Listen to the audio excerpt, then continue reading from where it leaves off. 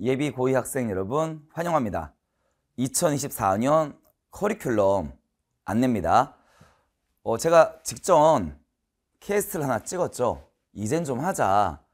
그럼 어떻게 하면 되는지, 뭘 해야 되는지 같이 이제 설명을 하겠습니다. 우리 이제 고1 1년 보냈으니까 알잖아요. 대부분 학생들 솔직히 영어 공부 안 한 학생이 대부분이고요. 자, 캐스트 보신 학생 알겠지만 했다고 오해하는 거죠. 단어 외우고 영어 공부했다. 제가 그때 말씀드렸습니다. 단어 외운다고 해석할 수 없다. 왜? 우리말과 어순이 다르기 때문에. 그래서 제가 이제 비유적으로 표현하면 러시아어가 있는데 내가 러시아어 단어만 안다고 해서 해석할 수 없다. 어순을 모르니까. 중국어예요. 내가 한자의 뜻을 알고 있다고 해도 이게 두 줄짜리 문장으로 나오면요. 우리말과 어순 자체가 다르기 때문에 해석이 안 된단 말이에요. 근데 단어만 알면 해석할 거라고 하는 이 말도 안 되는 오해. 이제 그거 케이스 보시고 꼭 다시 한번 생각해 보시고요. 그래서 우리 강의 핵심 방학 동안에 이 정도까지는 끝내자와 방학 이후의 공부량까지 좀 설명을 할게요. 올해 수능 영문법, 베이직 수능 영문법을 드디어 이제 개강을 했습니다. 말 그대로 베이직 수능 영문법이고요. 자, 이 강의는요. 모든 학생이 다 수강 대상자는 아니고요. 이제 학생들 중에서 딱 여기에 들어간 학생. 선생님, 저 용어 자체가 뭔지 모르겠어요. 뭐 말이 어렵습니다. 뭐 예를 들면 뭐 명사절. 선생님들이 툭하면 명사절이라고 하는데 도대체 명사절이 뭔지도 모르겠고 아니 상관 접속사라고 하는데 뭐 시험 문제는 이제 학교 내신 시험에 잘 나오는 건 아는데 그, 근데 상관 접사가 또 뭐였지? 이런 이름부터 친해지기. 자, 그 다음에 품사부터 수업을 하는데요. 품사를 괜히 이거 이 품사는 뭐야, 이 품사 뭐야 이런 암기가 아니고요. 이게 실전에서 왜 공부를 해야 되는지 문법을 공부하는 이유는 딱 두 개입니다. 첫째 뭐예요? 학교 내신 시험 보려고 문법 문제 많이 나오니까 둘째가 뭐예요? 해석은 문법 없이 공부할 수가 없단 말이에요. 그래서 우리 베이직 수능 영문법이요. 두 개를 다 하는 겁니다. 학교 내신의 문법 문제와 그 다음에 이게 해석을 할 때 어떻게 쓰는지 근데 학생들 중에 어 선생님 저는 이제 문법은 좀 되고요. 그러니까 문제풀이라기보다는 뭐 이름 많이 알고 있고요. 어 해석은 뭐 조금 되는 것 같습니다 라고 하면 점프하셔도 됩니다. 근데 아마 대부분의 학생들이 아마 이게 포함될 것 같습니다. 자 이제 해석 강좌입니다. 저희 교재 노베이스라고 붙어있는 거 오해하시면 안 돼요. 고3 기준으로 노베이스 얘기하는 겁니다. 그러니까 노베이스 문장 해석의 원리는요. 저희 교재 노베이스라고 붙어 있거나 베이직이라고 붙어 있으면 기본적으로 고1, 고2 기출 문제를 바탕으로 교재가 구성되어 있다는 거예요. 그래서 노베이스 문장 해석의 원리가 아까 살짝 언급되었죠. 단어만 안다고 했을 때 있는 게 아니다. 우리말과 어순이 다르다. 특히나 후치 수식이라고 해서 뒤에서 앞으로 꾸며 들어가는 게 있단 말이에요. 중요한 건 가로 여는 것도 중요한데 가로 닫는 게 더 중요해요. 아, 어디서부터 어디까지만 앞에 말을 꾸미는 거고 또 다른 의미가 나오는구나. 우리가 이걸 의미 단위별 해석이라고 하거든요. 그래서 노베이스 문장 해석의 원리는요. 기본 문법 다시 설명합니다. 그러니까 베이직 수능 영문법을 수강하지 않았어도 자 얘는 이제 학교 내신 시험까지 같이 공부하는 거지만 노베이스 문장 해석의 원리는 해석 공부예요. 문법을 짧게 다시 얘기는 해줍니다. 아 이런 용어는 이런 거고 이럴 때 씁니다. 근데 중요한 건 해석 해석 공부할 때 어떻게 하느냐. 그래서 문법 개념부터 시작을 해서요. 품사부터 시작합니다. 기본 문장 해석. 그래서 기본 문장이라는 건 고1, 고2의 두 줄 정도 문장까지예요. 핵심은 의미 단위별입니다. 끊어 읽고 묶어 읽기까지 공부를 합니다. 그래서 그걸 의미 단위별이라고 하고요. 고1, 고2 기출 문제에 있는 예문으로 구성되어 있어요. 그럼 딱 어느 정도 학생이 딱 좋냐면요. 고1 때 기준으로요. 이제 6, 9, 11월 모의고사를 봤잖아요. 고1 때 기준으로 자기가 3등급 이하더라. 이해부터 수강합니다. 3등급 이하라면 이거부터 수업을 하는 거고요. 자, 이거를 공부한 다음에 의미 단위별로 끊어주고 묶어주기는 어, 의미 단위별로 볼 줄 알아야 돼요. 그리고 나서 공부하는 게 뭐냐면 여기서 순서가 이렇게 됩니다. 밑으로 내려가지 않습니다. 옆으로 갑니다. 이렇게 들어갈 거예요. 그리고 문장 해석의 원리입니다. 문장 해석의 원리는 수능 전범위에 해당하는 구문이에요. 근데 문장이 좀 더 길어집니다.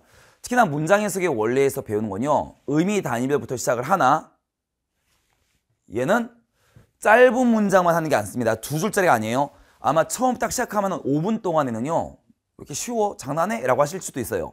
10분만 딱 넘어가 보세요. 한 줄짜리 공부하다가 어, 두 줄로 문장이 길어집니다. 20분만 넘어가 보세요.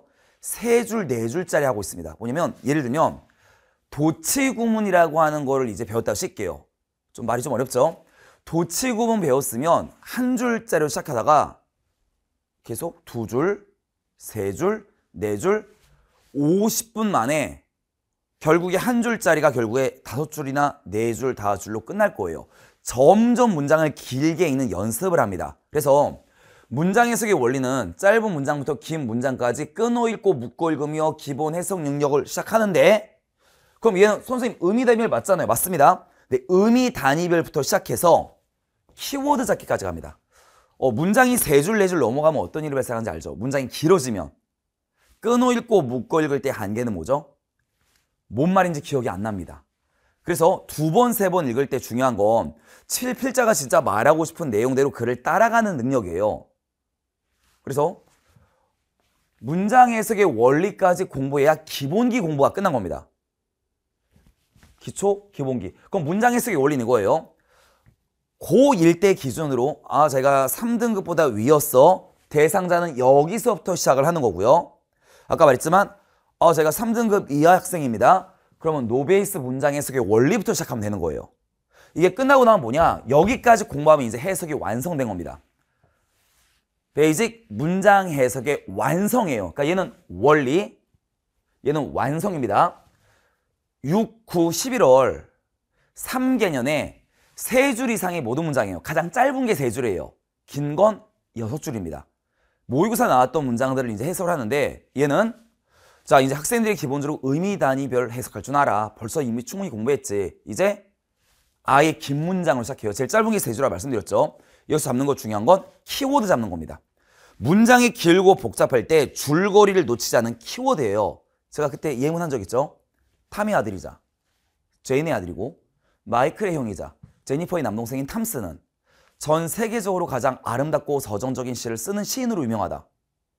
이거 네 줄이거든요. 영어로 쓰면 필자 오신말 다 중요한가요? 아니요. 탐스는 시인으로 유명하다. 탐의 아들이자 제인의 아들이고 마이클의 형인 탐스는 수식어고 전 세계에서 가장 아름답고 서정적인 시를 쓰는 시인으로 보는 시인. 동사 유명하다. 탐스는 시인으로 유명하다. 그러니까 우리말을 읽을 땐 배우지 않아도 키워드가 잡히거든요. 근데 영어 읽을 땐요. 가로 열고 닫고 열고 닫아 보다 보니까 뭐가 중요하고 중요하는지 모르는 거예요. 그래서 핵심적인 내용은 키워드 잡기에서 이제 시작이 됩니다. 얘는. 근데 어디까지 가느냐? 주제문 찾기 연습까지 해요. 이 문장만 가지고도 아 이건 주장문이야 필자의 의도가 들어가 있어 이건 부연 설명이야 왜냐면 그래야 결국에 문제풀이가 된단 말이에요 그래서 베이직 문장 해석의 완성까지 공부하면 이제 공부가 끝난 거고요 자 고학생이니까 여기까지만 공부해도 돼요 자 여기 있는 백이란 말이 빠졌죠 문장 해석의 완성은 고3 기출에 있던 세 줄 이상의 모든 문장입니다 선생님 저 그냥 2학년 때요 영어 그냥 끝낼게요. 저 고3 때는 영어 투자할 시간 없고요. 저 고3 때는 그냥 다른 과목 더 집중하고 싶습니다. 라고 하는 학생들만 하는 거고요.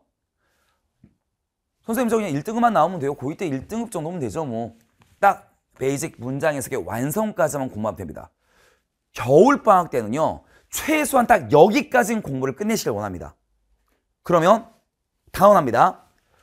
고2 올라가자마자 학교 내신 대비할 때 고생하지 않을 거고요. 특히나 내신 때요. 부교재 수업 들어갈 때 아니면 부교재만 수업도 대충 하시는데 막 시험법이 막 나와. 고생하지 않습니다. 왜요? 기본적으로 자기 혼자 다 해석할 수 있거든요. 그래서 여기까지는 필수사항이라고 보고요. 자, 그 다음에 나중에 3월달이 되면요. 자, 뉴라고 나왔다는 얘기는 올해 이제 처음 나온 강의들이에요. 50일 완성 해석 훈련이 3월 달에 들어옵니다. 그때 아 내가 방학 동안에 배운 거 잊지 않고 정말 50일 동안에 꾸준하게 연습해서 해석 완성하겠다. 그래서 3월달 얘기니까 그때 공부하시면 되겠고 그 다음에 밑에 있는 내용은 독해 문제풀이 내용인데요. 문제 접근의 원리 각 유형별로 답의 근거 찾는 방법부터 시작을 해요. 그 다음에 물어본 것만 대답하는 연습을 한다. 자, 이렇게 시작을 합니다. 그리고 얘는 이렇게 들어갑니다. N자예요. 빈순삽 오답적의 원리. 다시요. 베이직이란 말이 붙었다는 얘기는 고1, 고2 기출문제 바탕이라는 얘기예요. 학생들이 빈수합을 제일 어려워하죠. 빈순삽만 집중적으로, 빈칸 순서 삽입만 집중적으로 줄거리 잡고요. 줄거리 놓치지 않는 연습. 근데 줄거리 놓치지 않는 연습은 벌써 문장 해석이 완성해서 끝납니다. 이 줄거리를 잡을 수 있는 능력에다가 이제 뭐예요? 주제문 찾기만 들어가면 돼요. 모든 빈칸은 예를 들면 주제는 뭐니? 위아래 관계는 뭐니? 그러니까 어떤 글의 주제를 알고 위아래 관계를 알면 오답 다 지워지거든요. 그래서 나중에 문제 자 해석고만 끝나고 나면 문제풀이 강좌를 들어가면 되고요. 똑같아요. 빨간 펜 써 있는 건 자 앞에 베이직이 안 붙어 있죠. 고3 기출 문제들이에요. 그러니까 아 학생들은 여기는 선택사항 어디까지만 아 그래도 2학년 때다 1만 나오면 됩니다. 저 미리 고3 거까지는 공부 안 해도 되고요. 라고 하면 딱 여기까지만 공부하시면 되고요. 아까 말한 것처럼 저 영어는 2학년 때 끝낼 겁니다. 저 3학년 때 영어 공부 안 하려고요. 그냥 수업 들어가면서 자, 학교 수업 또는 학원 수업, 온라인 수업 들으면서 그냥 간만 유지하고 2학년 때 끝낼게요 하면 결국에 올해 안에 여기까지 공부하면 된다는 얘기예요. 그래서 커리큘럼이 이렇게 설정되어 있고요. 학생들 근데 지금 당장은 사실 문제풀이가 아닐 겁니다. 좀 1에서 2를 왔다 갔다 하는 학생조차도 아마 제 생각인데 베이직 빈손삽 오답적의 원리는 지금 당장은 아닐 거예요. 근데 방학 동안에 문제 접근의 원리까지 듣는 학생들도 있습니다. 아, 내가 줄거리 잡을 줄도 알고 놓치지 않는 거야, 글을. 절대 놓치지 않는 거야. 내가 중간중간에 모르는 단어가 나와도 절대 글을 놓치지 않고 끝까지 가는 능력은 벌써 문장 해석이 완성해서 배우고요. 그럼 이제 나 진짜 문제 풀어보자. 문제 풀어서 공부를 한번 해보자. 그래서 조금 욕심이 난다면 방학 동안에 딱 여기까지만 끝내면 됩니다. 자, 그래서 학생마다 case by case가 달라요. 자, 성적도 다르고, 그 다음에 부족한 점도 좀 다르죠. 선생님, 자, 들었는데 잘, 잘 모르겠는데 저 뭐 수강하면 좋겠어요? 궁금하시면 저희 Q&A 오셔서 자기 학년 꼭 써야 됩니다. 학년. 그 다음에 모의고사에서 어느 정도 등급이 나왔었는지, 학교 내신은 어느 정도 나왔는지 쓰시고, 자, 뭘 들을까요? 어디부터 들을까요? 하시면 저희 연구팀이 상세하게 도와드릴 겁니다. 우리 지난 1년 정말 너무 빨리 지나갔잖아요. 별로 한 것도 없는 것 같은데. 근데 똑같이 1년을 또 맞이한다면 보입니다. 고3 때 얼마나 고생하게 될지.